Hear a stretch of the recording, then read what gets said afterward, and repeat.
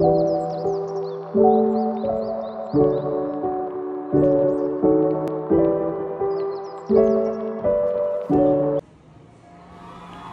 guys! Welcome to another vlog! Alam nyo guys, natagpuan namin itong isang spot na to. Although matagal na ito, kaya lang noong time na umuwi kami ng Pinas, ayun, super so ganda ng view. Nakaka-enjoy, nakaka-relax. Ang ganda ng ambience. So, ayan, picture-picture. Enjoy ang mga kiddos.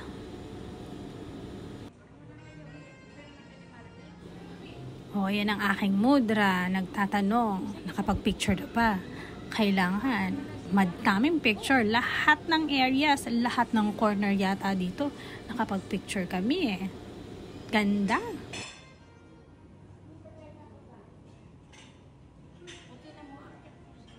O, ayan si Madir. Galit-galit. Tanong-tanong baka kung saan mapunta ang aking mga Junakis. Super protective eh.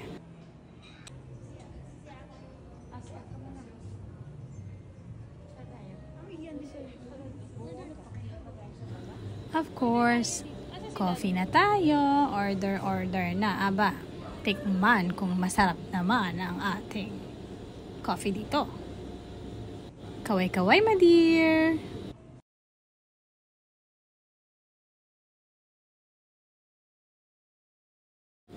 O, ayan na. Picture is life, ba? Mm, pose. Shala, ba? Mm, sige, pose kayo ng pose saan mang sulok ng Crossing Cafe. Mm, sige, enjoy. Minsan lang yan. Aba, matatagalan na bago tayo bumalik. Enjoy! Thank you again so much for watching.